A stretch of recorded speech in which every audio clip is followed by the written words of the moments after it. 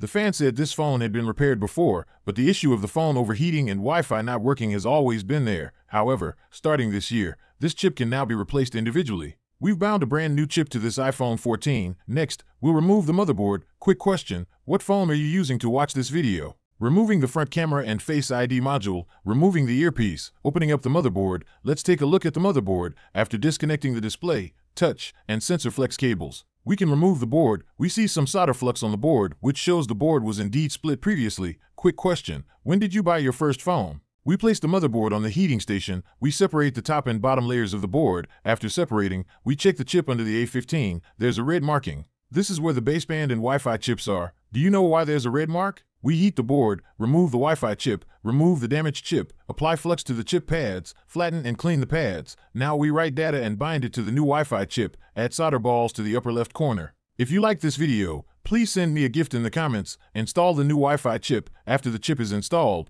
clean the top and bottom layers, apply thermal paste to the A15 CPU. Align and press the layers back together. After reassembly, apply new foam and stickers. Beautify the phone's motherboard. Some people quietly watch videos, but they secretly like, comment, share, repost, and follow. Those people are so adorable. After beautifying, reinstall the motherboard. Clean off residual glue around the phone's frame. Clean the residual glue off the back glass. Apply a new waterproof adhesive. Install the back glass. Some people quietly watch videos, but they secretly like, comment, share, repost, and follow. Those people are so adorable. Put the phone in. The high pressing tool for sealing. After pressing is complete, install the last two screws at the bottom. Then we power it on. After booting up, enter the password. Let's enter asterisk hashtag 069 hashtag. The IMEI shows up. So baseband is working. Wi-Fi can also be turned on normally, and the connection is very stable. Now that the Wi-Fi chip can be replaced, think of how many second-hand phones can be saved. So be cautious when buying second-hand phones.